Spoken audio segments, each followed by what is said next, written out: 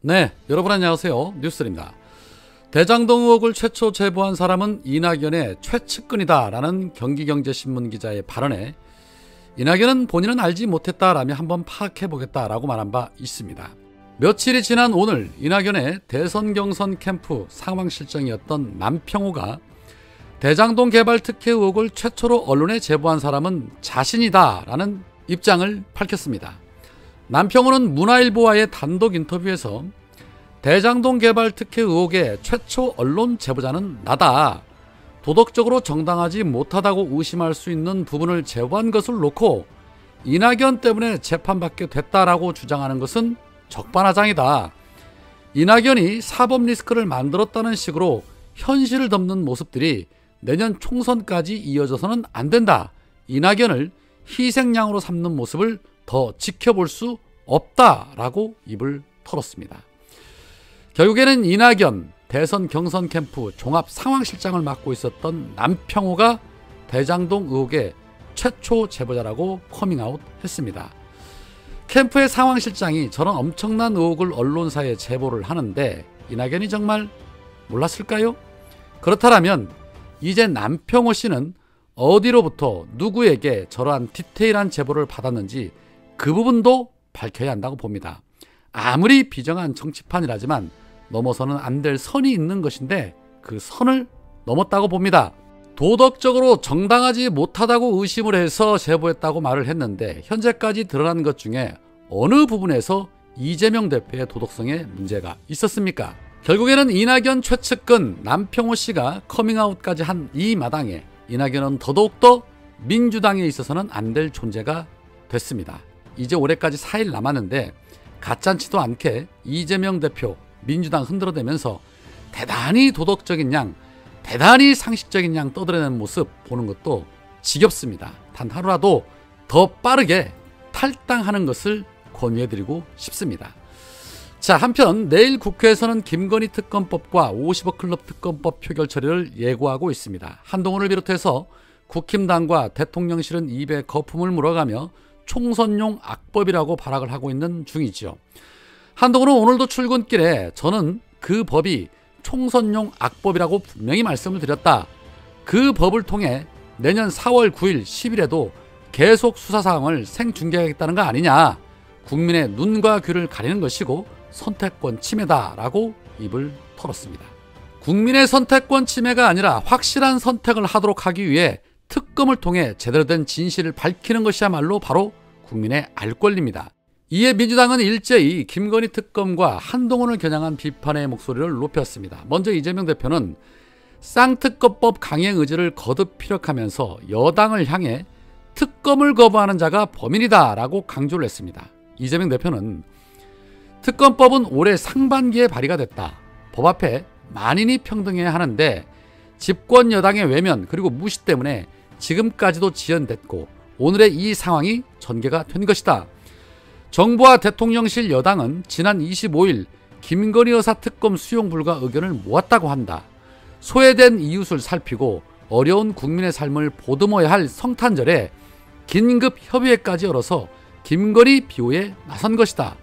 당대표 권한 대행, 국무총리, 비서실장, 대통령실 정책수석, 원내 대변인 모두가 혼연일체가 돼서 대통령 부부 심기 보전에 앞장선 모습이 보기 씁쓸하다.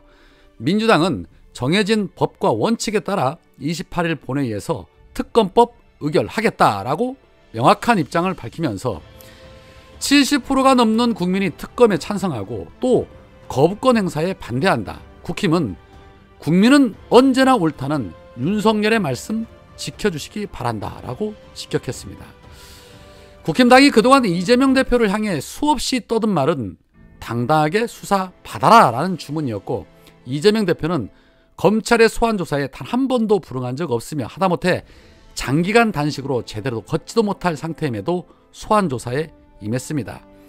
지들이 그동안 떠들었던 논리라면 최소한 인간이라면 김건희 특검이 총선용이라는 둥, 악법이라는 둥의 실드를 쳐서는 안 되는 겁니다. 김건희가 연일 드문불출하며 납작 엎드려 있는 이유 당당하면 그럴 필요가 없었겠지요. 그런 행동 하나만 보더라도 특검은 반드시 해야 합니다. 또한 이재명 대표는 류일인 방심위원장이 가족과 지인을 이용해서 청부민원 사주를 벌인 작태를 겨냥해서는 본인의 SNS를 통해 검찰의 고발 사주에 이은 민원 사주, 이 정권은 사주가 팔자인가? 라고 강한 메시지 한 방으로 후려치기도 했습니다. 조작과 공작이 난무하는 세상, 이게 바로 검사 독재 정권의 세상인 것입니다. 바로 잡아야죠. 자, 그런 가운데 검복을 벗고 정치복을 입은 한동훈. 그동안은 잘도 버텨왔는데 정치인의 삶은 그동안의 삶과는 많이 다르다는 것을 느끼게 될 것 같습니다. 오늘 민주당의 양이원영 의원이 한동훈을 고발을 했습니다. 양이원영 의원은 기자회견에서 피고발인 한동훈이 국회 본회의에서 피의 사실을 공표한 것은 상대방 정치인에 대한 겁박이며 모욕주기다. 더불어민주당 국회의원들을 부도덕한 정치인으로 낙인 찍어 정치적 이익을 취하려는 것이다. 라고 그 고발 배경을 밝혔습니다. 그러면서 한동훈은 김건희 특검법을 악법으로 규정하며 특히 특검법에 담긴 수사 상황, 언론 브리핑을 독소조항이라고 언급을 하고 있다. 그러나 한동훈은 법무부 장관 시절 기회가 있을 때마다 피의 사실을 공표해온 장본인이다. 구속 전 피의자 신문이 열리는 비공개 법정에서나 밝힐 구속이 필요한 사유를 생중계가 되고 있는 국회 본회의에 공개한 전례가 없다.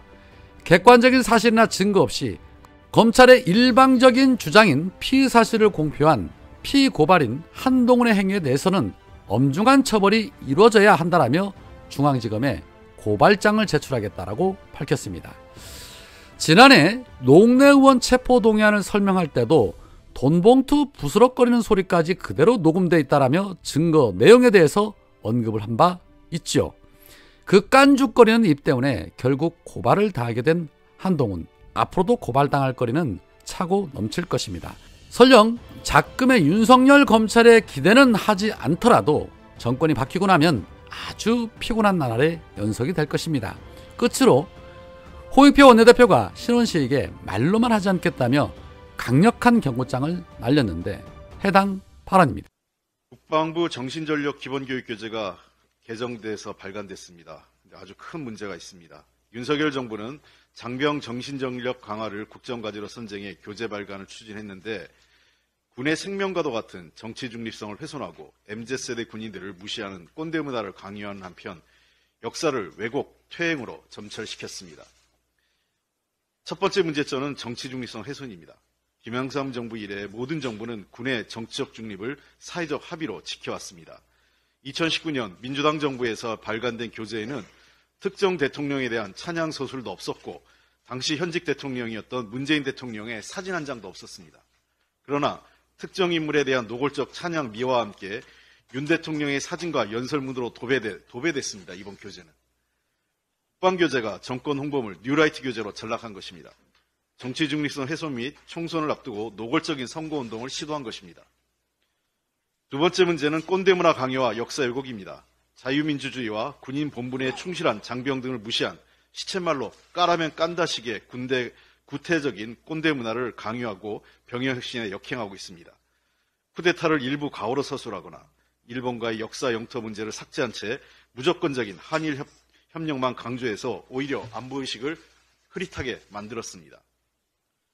이로 인해 결과적으로 정치 중립성을 포기됐고 노골적인 정권 홍보, 꼰대 병역 문화 강요, 역사 왜곡으로 정신연력 강화는커녕 군대를 정치의 장, 갈등과 분열의 전쟁터로 변질시키게 될 것입니다. 국방부는 엉터리 교재 발간 즉각 중단해야 합니다. 민주당은 해당 교재 사용 금지, 가처분 등 모든 조치를 취하겠습니다. 신원식 장관은 이번 사태에 대해서 사과하고 교재 사용을 하루빨리 중단시키십시오. 그렇지 않, 는다면 민주당은 신원식 장관에 대한 모든 형태의 법적 정치적 책임을 묻겠습니다. 말로만 하는 거 아닙니다.